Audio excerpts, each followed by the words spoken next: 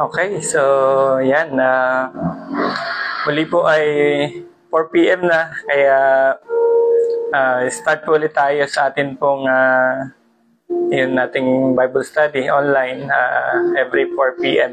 Kaya po, ayan, uh, patuloy ka nga pong pakahayag at uh, Lord, uh, patuloy pa na maging uh, mas malalim pa, Panginoon, ang pagkakilala at pagkaunawa namin sa iyo, Diyos. Salamat po, Ama, sa pangalan ng Panginoong Yesus.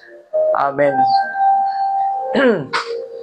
Kaya ng uh, topic na ito, at uh, ang tinuro niya ay sino si Kristo ayon kay Pedro at uh, ayon sa mga demonyo. So ngayon po ay i-share ko po sa inyo ang um, ang kasunod nito, um, ayon naman na uh, ayon doon sa centurion. Ito po yung ikatatlo.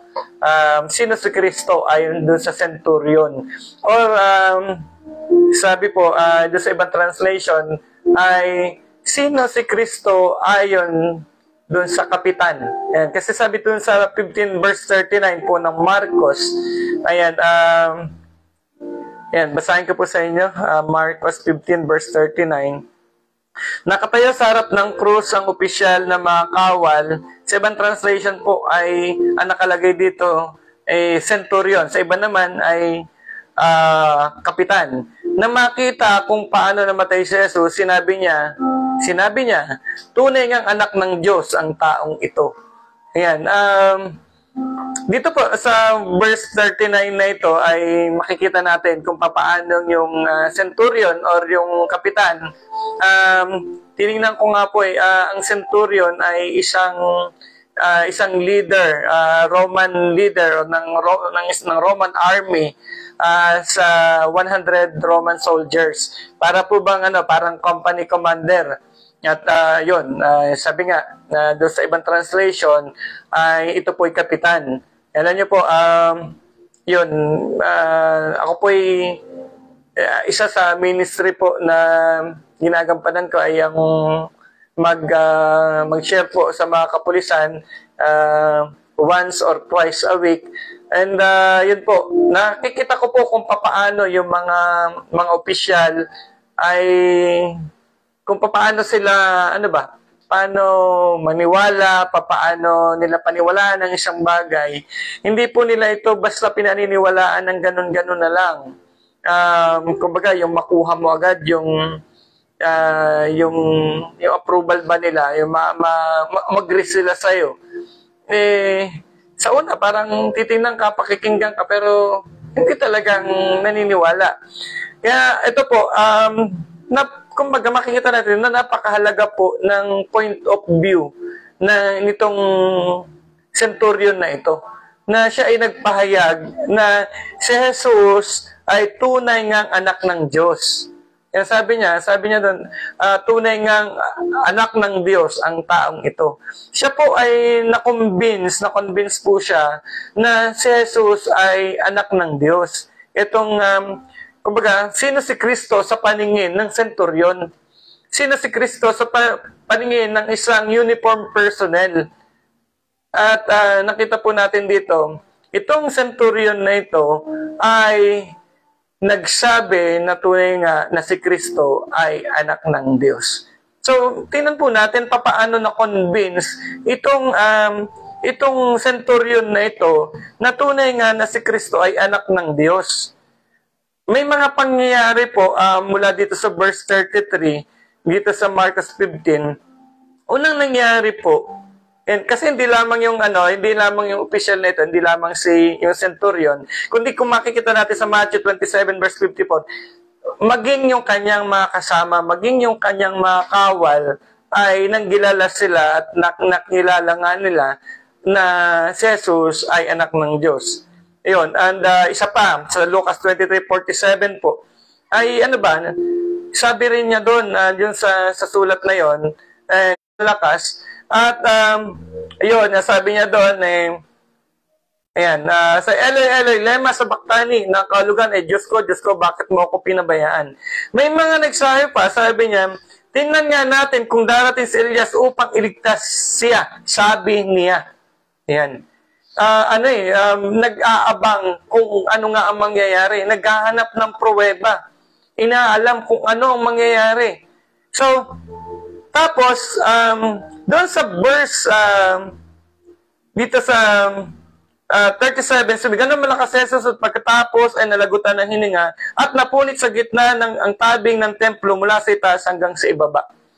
Yun po, um, Nakita natin na uh, sinasangayin dito, yung kung yung yung doon sa templo, yung makapal na natabing o makapal na uh, yung tela doon, nakita na observe nitong um, nitong itong kapitan na nag yung mga mga chismis. Ang gagawin nila, mag-iimbestiga sila, i-check nila may katotohanan ba ito? May mga ebidensya ba? Kaya po ito, napakahalaga na uh, malaman natin yung, yung pagtingin nitong centurion or nitong kapitan na ito at siya po mismo ay naniwala na ang ang Panginoong Yesus ay tunay ngang anak ng Diyos. So, yun po. And then, um, pangalawa ay, o pang-apat, ay ayon kay Nathan, Nathanael or Nathaniel. Yan po. Um, dito naman po sa ano, uh, sa sa Juan, sa kalat po ng Juan chapter 1, ay uh, dito sa 1 verse 49, ay makikita po natin itong si, si Nathaniel. Ayan, um, siya din ay nagsabi na sabi dito, sumagot si Nathaniel, Rabbi, kayo nga po ang anak ng Diyos, kayo ang hari ng Israel. So itong si Nathaniel ay uh, nandun po na nagkaroon siya ng uh, nakon, na-confirm na yan na, na talagang napatunayan niya na ito pong ang Panginoong Yesus ay tunay nga na anak ng Diyos at ang sabi pa niya, kayo ang hari ng Israel. So, anong nangyari? Paano, paano na-convince? Paano uh, na-confirm ni Nathaniel, ni Nathaniel na si Jesus ay anak ng Diyos at hari ng Israel na mismong uh, sinabi niya. Okay? Um, dito po makikita natin, ano, uh, una pong uh, pinuntahan ng Panginoon ay ano eh, uh, nang nagpunta siya doon sa Nakita niya roon si Felipe at sinabi ni Jesus sa kanya, Sumunod ka sa akin. Si Felipe, taga Bethsaida, tulad din Andres at Pedro. Nakita ni Felipe si Nathanael, Nathanael at sinabi niya dito, Natagpuan na namin ang tinutukoy ni Moses sa kanya isinulat sa aklat ng kotusan. Gayun din ang mga propeta, siya si Jesus na taga Nazaret na anak ni Jose. Okay, sabi po niya dito, natagpuan na namin ang tinutukoy ni Moises. Ibig sabihin po, talagang sila po ay uh, nagbabasa ng kasulatan at alam nila kung ano yung hinahanap nila at walang iba kundi uh, ang hinahanap nila ay walang iba kundi yung tinutukoy ni Moises sa kanyang mga sinulat or sa aklat ng kautusan.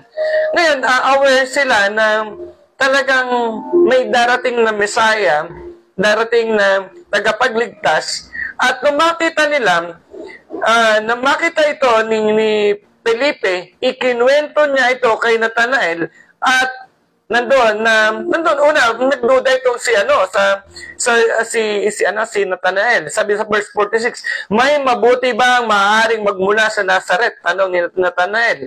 Sumagot si Felipe halika tingnan mo. Ikaw mismo ang mag-observe. Ikaw mismo ang tumingin. Tingnan mo kung totoo sinasabi ko. Ngayon, alam niyo po, sabi dito, nang malapit na si Nathanael, sinabi ni Jesus, masdan ninyo isang tunay na Israelita, wala siyang anumang pagkukunwari. Okay, uh, sabi ng Panginoong Jesus, ito ang isang tunay na Israelita at wala siyang anumang pagkukunwari. Na, na, na, eh, na alam ni ano alam ni Nathaniel ni Nathaniel yung sinasabi ng Panginoong Yesus. Sabi nga niya, paano niyo ako nakilala? Kasi alam niya kung ano talaga siya. Alam niya yung tama ang sinasabi ng Panginoon patungkol sa Kanya. Ngayon, eh, sabi pa nga, sumagot pa ang Panginoon, bago ka pa tawagin ni Felipe, nakita na kita nang ikaw ay nasa ilalim ng puno ng igos. Yan. Pinatunayan, minsan pa ng Panginoon kay Nathaniel na siya talaga yung hinahanap nila. Siya talaga yung inaabangan nila. So, and eto, pagdating nga sa verse 49, ay sinabi na, kinonfirm talaga, sinabi ni, ni Nathaniel, sabi niya, kayo nga po ang anak ng Diyos, kayo ang hari ng Israel. So, ang ganda po na makita natin, ano eh, una yung do sa kapitan, uh, dito po sa i-share ko sa inyo. Una to sa kapitan, hindi itong ano ito kapag ka-opisyal ng mga sundalo or ng pulis, hindi yan agad-agad na maniniwala. Kailangan niya ng ebidensya, kailangan niya ng pruweba para mapatunayan na totoo ang ang dumarating na impormasyon. O, pero ito po, sa harapan mismo nitong opisyal ng mga Roman army, Roman soldiers, ay nakita niya, observe niya, at siya mismo ay nagsabi, tunay nga ng taong ito ay anak ng Diyos. At uh, si Nathaniel, sabi nga niya, ano eh, talagang uh, alam niya tama sinasabi ng Panginoon. Sabi, na, nakita o naramdaman ni Nathaniel na alam ng Panginoong Yesus kung anong iniisip niya. Nababasa ng Panginoon iniisip niya. At uh, alam ng Panginoon na ito si Nathaniel ay isang taong hindi mapagpunwari o hindi magdaraya. At alam ni Nathaniel yun, kaya andun yung kanyang paniniwala. Na bukod pa doon sa sinabi ng uh, yun nga, nakita na kita na ikaw ay nasa ilalim ng puno ng igos. Kaya ang sabi pa, ang pangako pa, ang sabi pa ng Panginoon, eh, pakatandaan mo, makikita ninyong bukasan langit at ang mga ng Diyos ay man, manhik manaog sa kinaroroonan ng anak ng tao. Hindi po, um, ayun, sabi nung ano, balikan ko lang yung ano, yung, yung, yung, yung opisyal. Sabi niya, siguro ang isang bagay na, na, na nung, nung, nung napabulalas na siya, na sinabi niya, tunay nga ng taong ito ay anak ng Diyos na kung tutuusin, ito yung ginawa nila dito sa anak ng Diyos na ito. Ginawa nila sa anak ng Diyos, pinahirapan, pinako sa krus, pinagtawanan, nilibak, ando na ano na uh, kinutya. At tapos nalaman niya, na-realize niya na ang tao ko palang kanilang pinahirapan ay tunay niyang anak ng Diyos na maaaring sa atin din po ay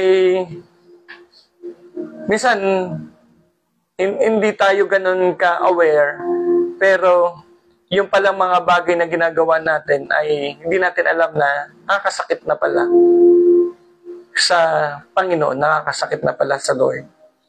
Na nung ma-realize nung, nung, nung, nung official na yon sabi niya, tunay nga pala, tunay talaga na siya ay anak ng Diyos. Nadalang ko po, naniniwala ako, nagkaroon yun ng malaking impact sa buhay niya. Yung ma-realize niya na yung taong kanyang inuusig, yung taong kanyang uh, maaring hinahayaan niya na nasaktan ng mga tao, pagtawanan, ay isa palang anak ng Diyos. So nawa po ay patuloy din natin na makita sa atin pong mga sarili, makita natin ng na kung sino si Kristo sa atin pong buhay. Na kung papaano na-confirm din ni Nathaniel na alam ng Panginoon kung ano ang tumatakbo sa kanyang isipan. At tunay na ang Diyos, alam niya kung ano ang takbo ng ating isipan, kung ano ang laman ng ating pong puso. Kaya nawa po uh, sa patuloy nating pag-aaral patungkol sa Panginoong Yesus or sa topic na sino si Kristo, ay masigit pa po natin na uh, makita kung sino siya sa buhay natin. At uh, sa bawat pagkakataon na nakikilala natin siya sa atin pong buhay, ay lalo nawa po tayong uh, mapalapit at uh, masunod pa ang kalooban niya sa atin pong mga buhay. At uh, muli po, magandang hapon po sa inyong lahat at tayo po ay magtapos sa isa pong panalangin. Hallelujah. Ama naming Diyos, muli po ay nagpapasalamat kami dahil sa hapong ito ay sinamahan niyo po kami. At ang kaunawaan, Panginoon, ng iyo pong mga salita ay amin pong patuloy, O Diyos, na, na naranasan. Nalangin ko po, Panginoon, sa bawat isang nakasama ko ngayong hapon na ito, naka, na rin nakinig, Panginoon, ng iyo pong anong, ang pag-aaral na ito sa iyong mga salita. Nalain ko po, Panginoon, na lalo ka pa nilang makilala sa kanila pong mga buhay. At uh, Lord, yung aming pagpapasakop sa iyo, pagsunod sa iyo, and uh, hanggang din yung pagsamba namin sa iyo, God, ay lagi namin maingatan sa aming puso sapagkat kilala mo kami, alam mo laman ng aming puso at isipan, no God. Kaya naman, naway ito'y patuloy na maging kalugod-lugod sa iyo pong harapan. Purihin ka sa hapon na ito sa pangalan po ng Panginoong Jesus po ang dalangin. Amen. So, ayan po at uh, muli isang maganda at pinagpalang hapon po sa inyo. God bless.